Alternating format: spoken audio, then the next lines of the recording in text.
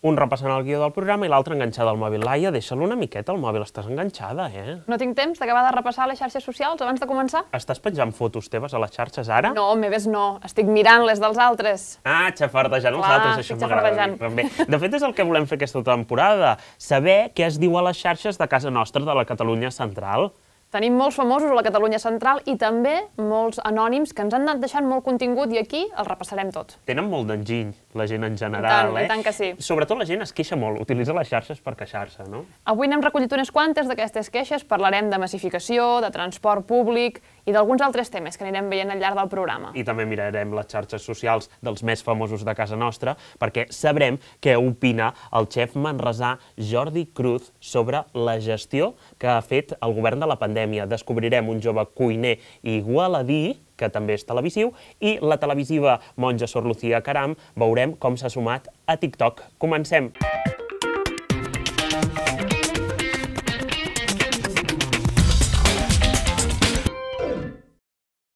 Doncs res, Laia, aquí estem, una jornada pandèmica més, eh? Una Perquè més. No, no, no, no, el deix, no marxa aquest coronavirus. La idea una mica d'aquesta nova temporada és no parlar de la pandèmia, perquè ja en tenim proutes de males notícies, no? Intentarem entretenir i posar-hi un toc d'humor, també, en Ho aquesta situació. Ho intentarem. Això sí, vull començar parlant-te re molt breument del coronavirus, perquè quan va començar la pandèmia, el mes de març, es va crear un compte de Twitter a nivell de tot l'estat espanyol, té moltíssims eh, seguidors, d'una persona que es fa passar pel virus, Una pel persona coronavirus. que hem de dir que té 900.000 seguidors, Imagina't. que no són pocs. I que ha fet tuits amb enginy, com per exemple Com un dient que estava tancant la seva gira mundial, això va ser a principis eh, de la pandèmia, per tant, donant-li aquest toc d'humor eh, en moments difícils, eh, Sergi? Però ens fixem en aquest perfil perquè darrerament eh, ell s'ha fixat en casa nostra, concretament amb la comarca del Bages, perquè, com saben, hi va haver un brot de coronavirus a una coral de gospel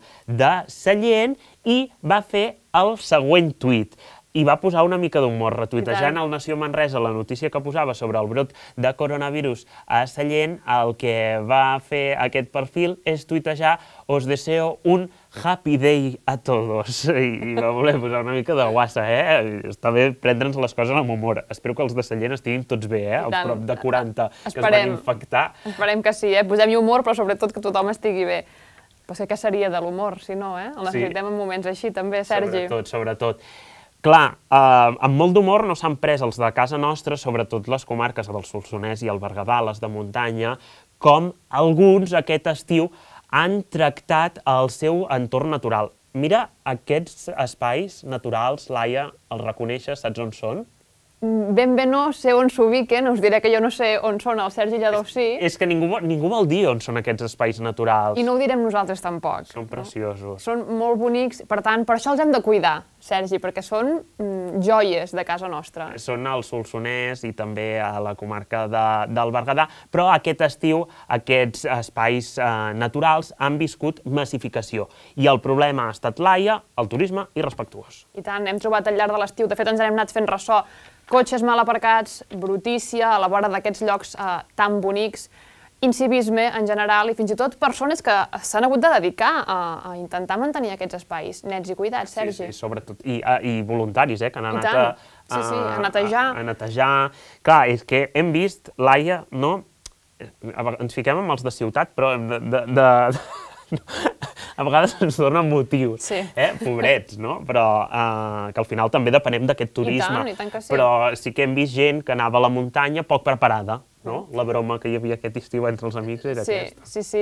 Parlàvem de, de rius, però també hem de parlar del Pedraforca i d'altres espais de muntanya i hem vist al llarg de l'estiu, a través de xarxes socials, gent que pujava al Pedraforca amb texans, amb, amb sandàlia, pràcticament podríem dir, amb bambes uh, d'estiu, que per fer la foto queden molt bé, Sergi, mm. però clar, mm, còmodo i pràctic no són. De fet, la massificació eh, també ve vinculada ara amb l'època que estem vivint, amb la tardor, perquè començ, ha començat ja no? la temporada de bolets, això també pot provocar una massificació a casa nostra, i hi ha un pique una mica a les xarxes socials eh, entre municipis del Berguedà, perquè Sí. és la zona amb més boletaires, jo no sóc boletaire, no sé dir si el Berguedà és zona boletaire o no, i tampoc ho descobrirem perquè no els agrada, però sí que veurem aviat aquelles cues de cotxes que pugen al cap de setmana cap al Berguedà a veure si poden omplir el cistell.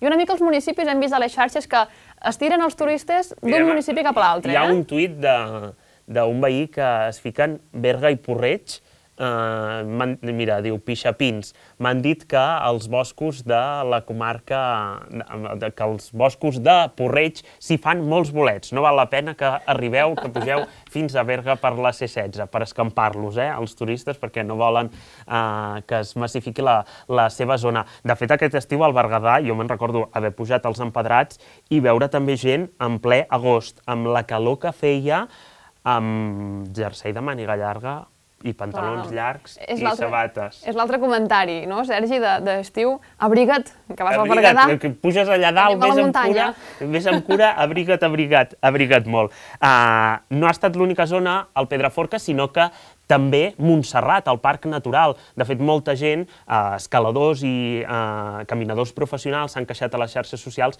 de la gent poc preparada. Com, per exemple, aquest tuit que veiem en pantalla, que parlava de que es va trobar a una persona anònima que va anar a fer una ruta més de les difícils de Montserrat i que es va trobar un senyor amb texans, passat de pes, sense mapa, sense GPS, sense motxilla i el que és pitjor, sense aigua. És important anar preparat. Aquest és una mica el missatge que I donarem la avui. ruta. Ah, aquesta és l'altra. Perquè sí, després important. els bombers es passen el dia fent rescats a, a Sí. Montserrat, però també ha passat aquest estiu al Pont del Clop, al Sí, Solsonès. sí, sí. Vull dir... És important saber la ruta, saber on anem i saber com hem d'anar preparats. I llavors podem gaudir del paisatge de la Catalunya central sense problema. A molts de ciutat hi ha una ruta que no es perden, que és l'anar de Barcelona cap al túnel del Cadí a la Cerdanya a la C-16. Aquí no es perd ningú. Llavors, què passa? Que els caps de setmana, sobretot els diumenges, en l'operació tornada, hi ha cues com aquesta, que veiem en aquest tuit, d'una veïna de Bagà que es queixa. Barcelona està sense cotxes perquè contaminen, però al Pirineu i al Prepirineu les, cura, les cues que hem d'aguantar no deuen contaminar, ho diu amb ironia. I aquesta és la imatge que ja és habitual de Bagà, no? que és la frontera amb la Cerdanya, que és on comença el túnel del Cadí, cap a Berga, la C-16, que sempre queda ple, fins a Cercs, que hi ha una cua, una cua impressionant. Clar, aquesta és una cara de la moneda, Laia. Sí. És, I de fet és una imatge que hem tingut molt al llarg de l'estiu, com la gent sortia de la ciutat al cap de setmana, també després d'aquests mesos tancats, teníem ganes de, de respirar i de pujar cap a la muntanya, i aquesta és l'altra imatge, cues pels mig de, per aquestes carreteres del Berguedà. Però clar, la gent que mm, està enmig d'aquesta cua també té la seva opinió. Hi va haver una resposta a aquest tuit que deia però què faríeu sense la pasta que us deixen, els de ciutat? Podríeu sobreviure? Clar, també estem, són zones que vivim del turisme, turisme. de muntanya, no? de, del turisme de proximitat. turisme rural, eh, que n'hem anat parlant també de, de l'ocupació aquests mesos, i per tant, si el, la gent de ciutat ens ve a les cases rurals, ha de venir per aquestes carreteres, i aquí teníem la resposta doncs, d'una d'aquestes visitants que va venir al Berguedà.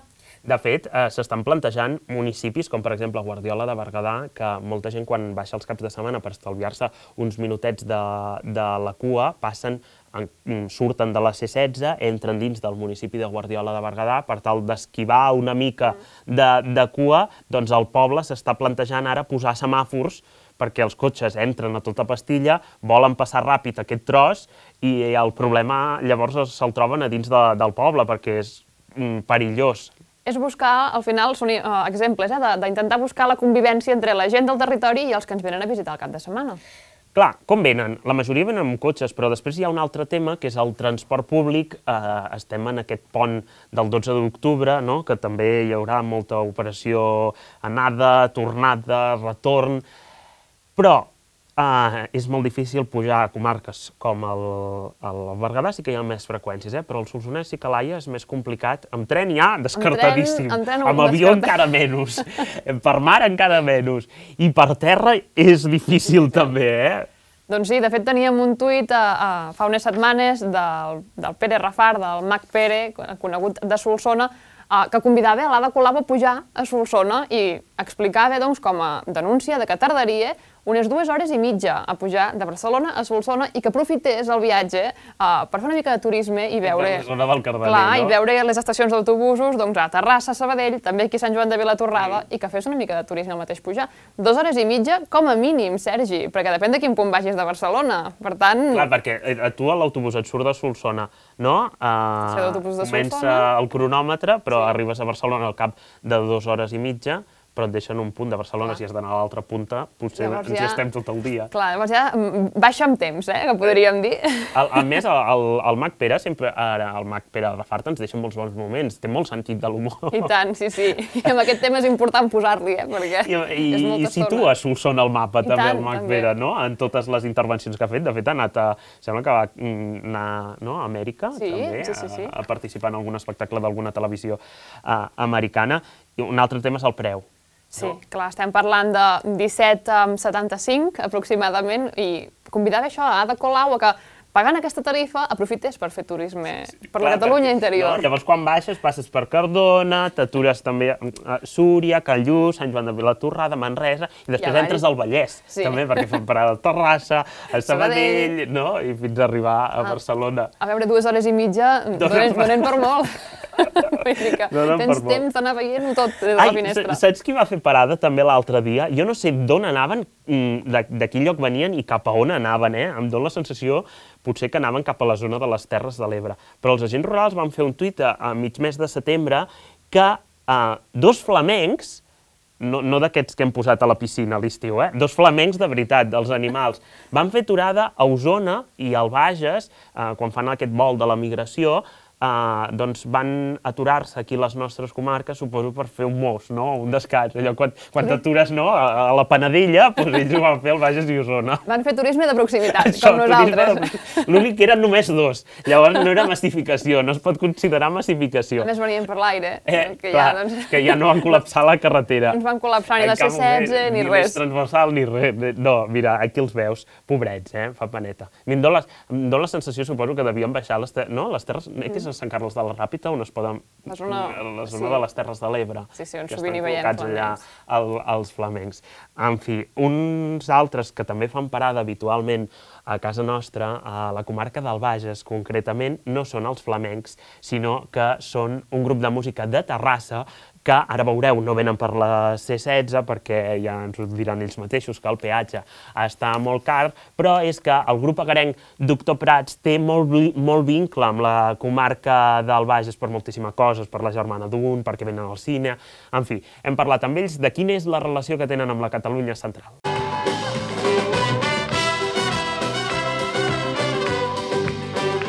Realment tenim bastant de vincle amb el Bages perquè vulguis que no, Terrassa està bastant a prop Mitja i hora, no? Mitja hora. està a menys de mitja Menys hora. de mitja hora. I...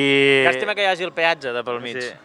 I, I de fet alguns dels discos que, que, que hem gravat han sigut aquí en el Bages, no? Artés. Artés. Artés. I a part quan érem joves també, doncs moltes vegades veníem per aquí també, al Cielo, a, Sí. a, a l'Estroi, que sí, bueno, tu, tu no perquè és massa, massa jove, però... I, I perquè no, era, no és del Bagès Occidental, Exacte. és de l'Oriental. I, I hem tocat diverses vegades. Quatre, concretament. Quatre? Bueno, potser més. No, no, a Manresa, a Manresa. A Bages Manresa. Més, clar. no, a Bages més. I, i- jo inclús havia vingut a vegades aquí al cinema d'aquí, perquè com que a Terrassa a. Terrassa no n'hi havia. No, Terrassa anàvem amb carro i, i, amb espelmes, i aquí ja hi havia Too- cinema. Too, too much i- information, no, això del cinema. Ja, i llavors d'aquí dos anys em diran... "Eh, Tu, Un tu, moment, un moment. tu no vas al moment, cine? De... Un moment, tu no tenies una germana que vivia a Talamanca? Vivia, vivia. De fet, és propietari d'una casa a Talamanca. Hòstia, El o que sigui que és que- propietària del Bages. Sí, sí. Bueno, no del Bages, és a dir, propietària al Bages. I amb el, amb el Miqui, amb el Miqui, uh havíem arribat a, a, a anar amb bici i creuàvem tot el Vallès Occidental i havíem arribat per aquí al Bages. Clar, fèiem la ruta fins Això- a Mura, no? A Mura, i Bages, després Bages, anàvem... Bages. Sí, sí.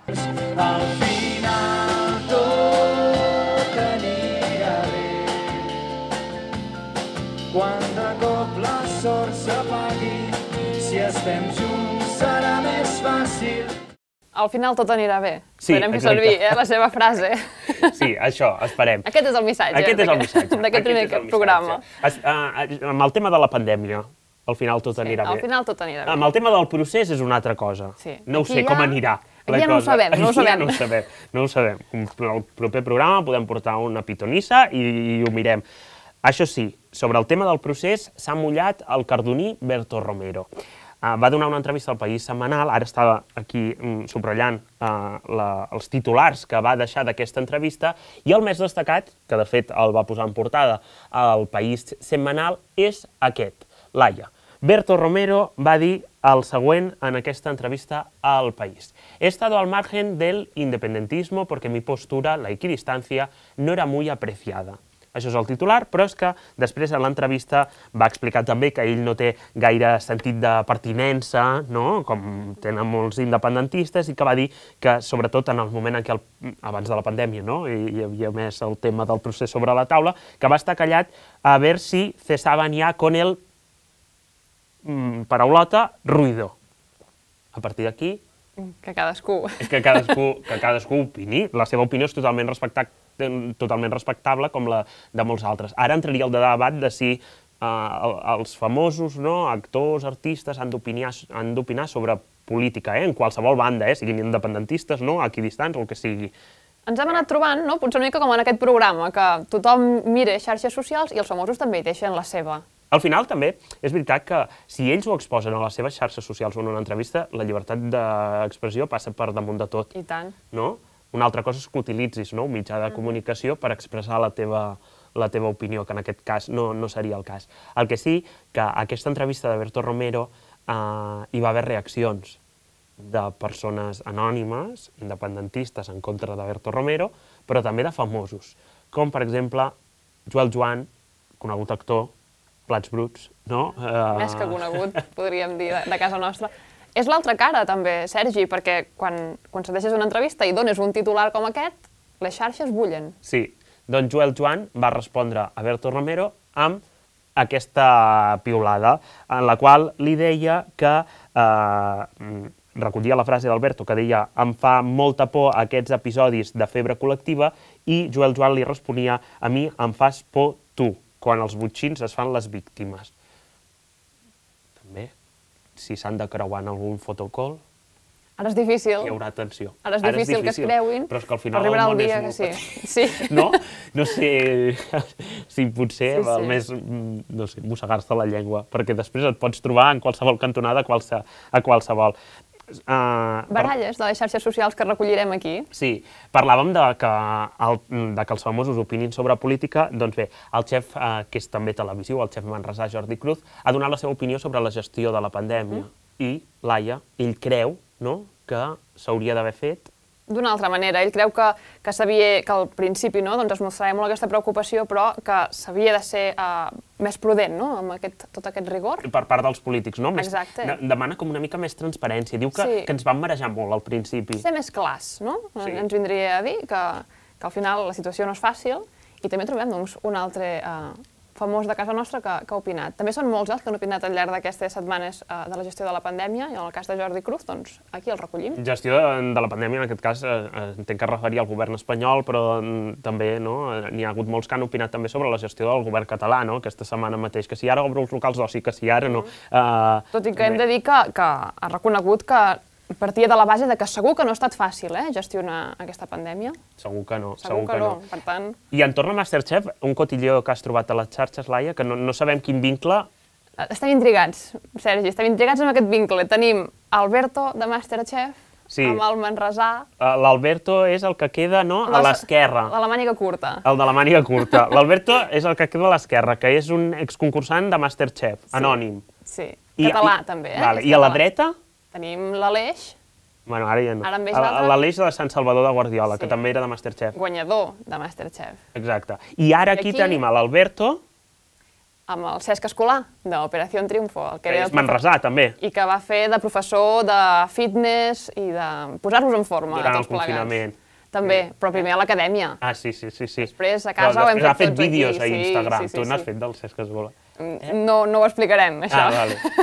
Jo sí, no tinc cap problema A mi vídeos del Cesc Escola A mi em costa, esport. em costa Eh? seguir-los, em costa seguir-los, a mi, Bueno, Sergi. tot, tot és posar-s'hi. El que tenim el dubte és uh, com és que aquests dos vegencs, no?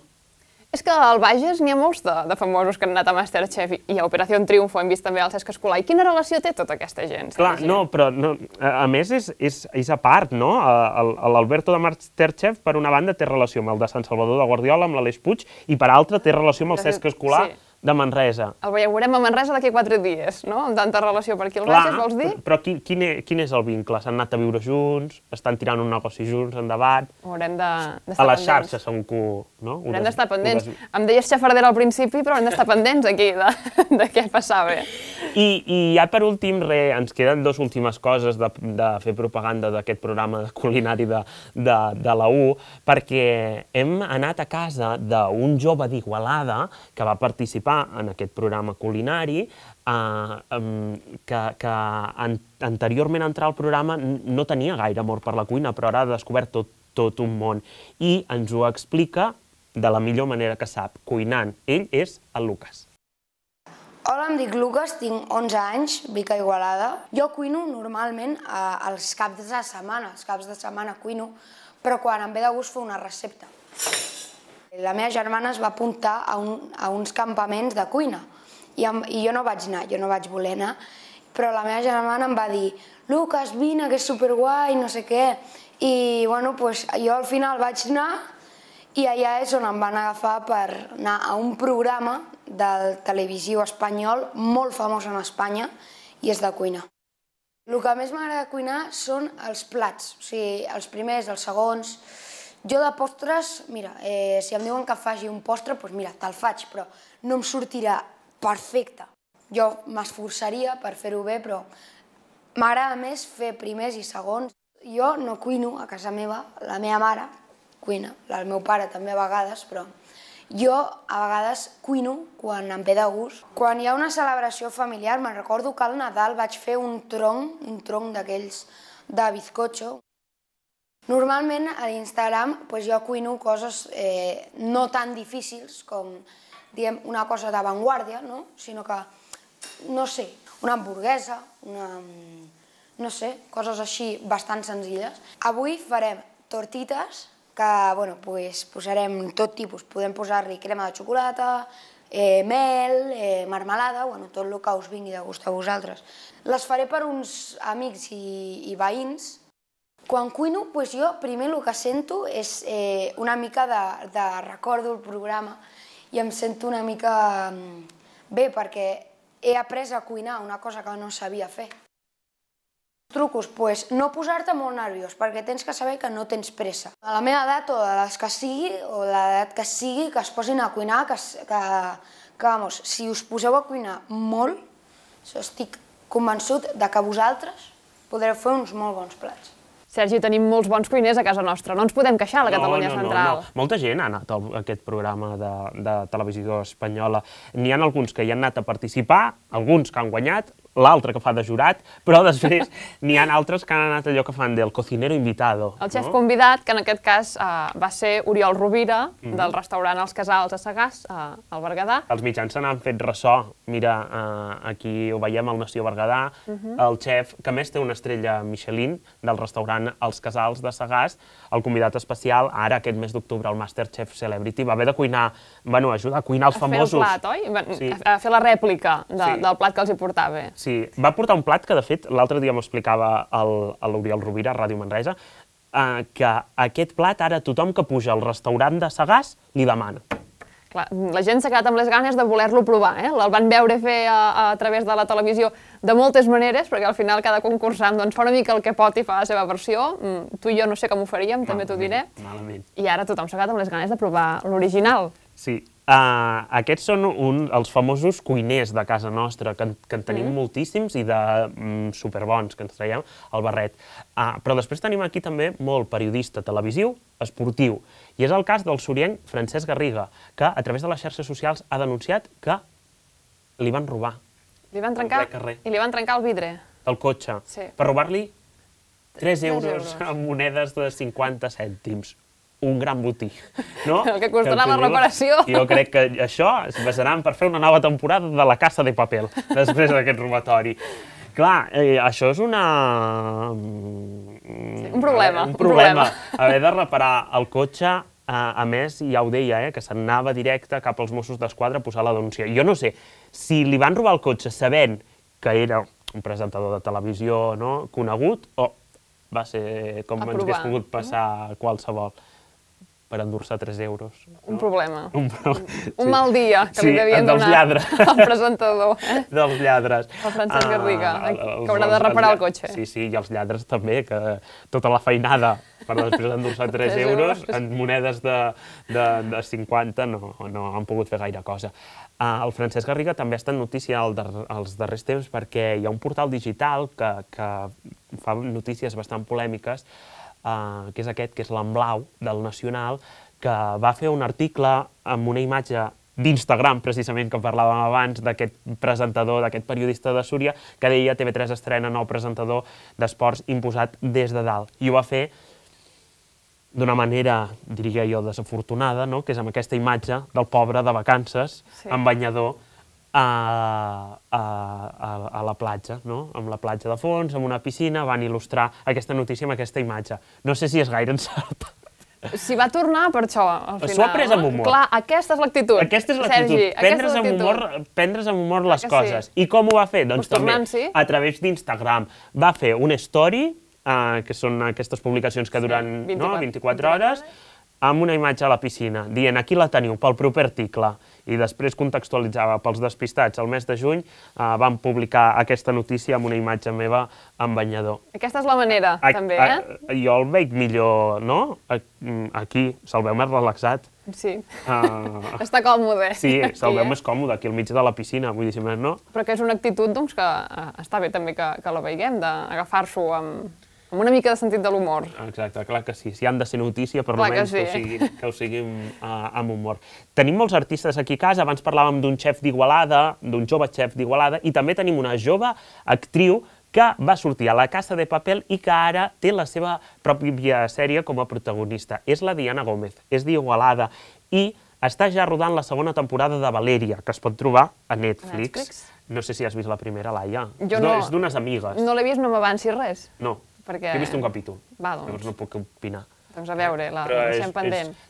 és d'una noia que vol ser escriptora i les seves amigues, els problemes que té el dia a dia, coneix un noi, se'n va amb l'altre, no? I ens estàs avançant massa. És la sinopsi, és la sinopsi, després, després ho, has de, ho has de veure. Uh, tots tots aquests, uh, aquests personatges famosos de casa nostra estan molt enganxats a Instagram, però després hi ha una altra plataforma que tu et sumes a la plataforma i ho publiques a l'Instagram. És una mica el complet. Eh? Eh, però és de ballar. Sí. Que jo no la tinc, no sé, Sergi, com se't no, dona no tu. ballar mai. Doncs a veure, veiem com ho fan els que sí que... És- que és s'hi TikTok. TikTok. No? Doncs qui s'hi ha sumat mm, no som nosaltres dos. Ni i- de moment no ho serem. No, però normalment és una plataforma, plataforma que utilitza, amb tot el respecte, la, els joves, no? Sí. Mm, Gent adolescent, de 15 anys... Potser és el els- públic els que de tenim no, com a més ment quan parlem de, de xarxes socials, Sí. però no s'acaba aquí. Però està molt bé també que gent més gran s'hi sumi, com per exemple les monges del convent de Santa Clara de Manresa. Ho,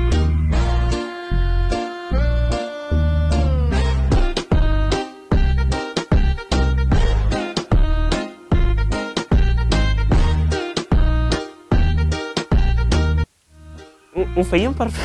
Ho feien molt bé, eh? Jo no molt m'has bé, jo- atrevit a que, uh, la, la, la coreo. No, no, no et veig amb, No, amb no, el no ritme, no, ritme no, no amb aquesta cançó del Jason Derulo, eh? Però aplaudim des d'aquí, a Sor Lucía. I, i a les altres i a les tres. altres tres de, Hi havia convent. molts comentaris en aquesta publicació que ha tingut moltíssimes visualitzacions, més de 16.000 reproduccions, de que entranyables, que boniques. Ho van fer per una bona causa. Sí, per, per demanar ajuda no, al convent i a, la, i a la seva fundació.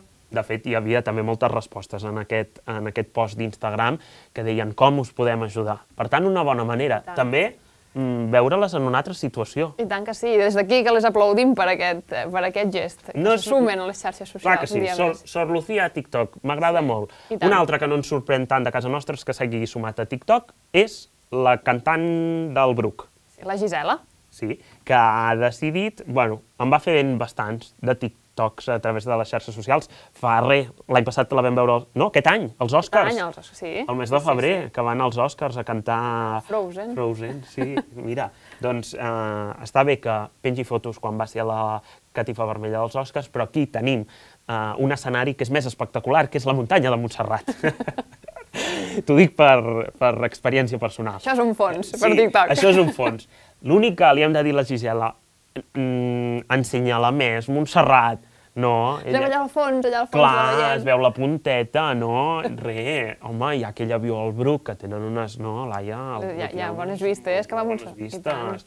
Mm, Que, que el pròxim TikTok es vegi més, Sí. Montserrat. Des d'aquí li diem també, si ens està veient, que el, Sí. el pròxim TikTok es vegi una mica més la muntanya. Sí, a la Roca Foradada, que pugi la Ah, Roca Foradada, això. Sant Jeroni. Serà per escenaris com Sí, Montserrat. exacte, clar, i no aquí, eh, que això és el caminet eh, de la Vinya Nova, em sembla que és.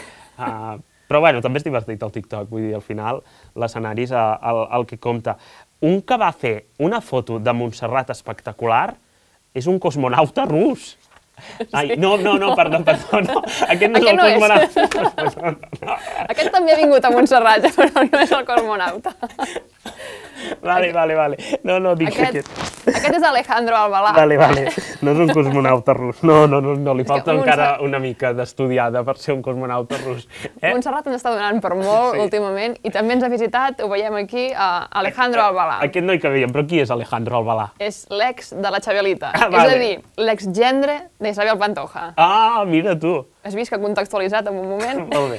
O sigui, Alejandro Albalà és uh, l'exparella de la Xabelita, que és la filla adoptiva d'Isabel Pantoja. Pantoja, que és aquest que estem veient. No és ara el cosmonauta. No és un cosmonauta rus, aquest. És uh, un habitual dels realities Sí. de televisió. De fet, ara feia temps que no el veiem i mira, el teníem a Montserrat. Sí, mira, amb aquest Instastory, és, a mi em va fer gràcia quan el vaig veure, perquè vaig veure aquí la ubicació, dic, veig Montserrat, no? Montserrat barra Espanya, l'ubicació, però no es veu Montserrat, no? No, es veuen els Eh, pobles. es veu Monistrol, no?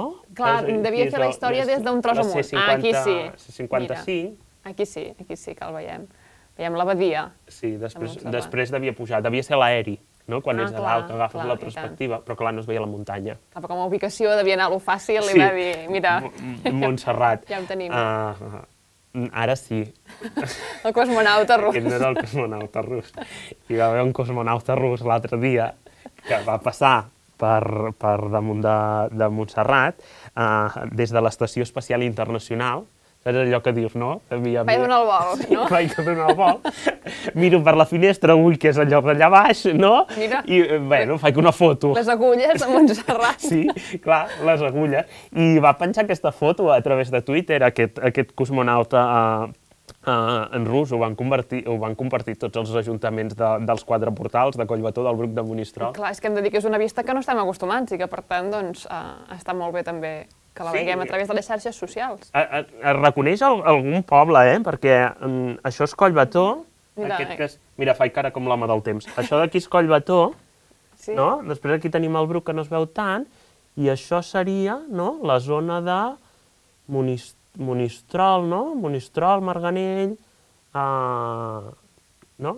Sí, sí. I no m'ho he estudiat. I la carretera que va pel costat, de, que porta de Collbató l'aeri. Aquí és l'aeri de Montserrat. Mira, des d'aquí, Això ho sé segur, segur, segur, segur, segur, segur, segur. des d'aquí va fer la foto, Eh? Alejandro Albalà. Des d'aquí Alejandro Albalà va fer la foto. El cosmonauta rus estava molt, molt, molt, molt més amunt.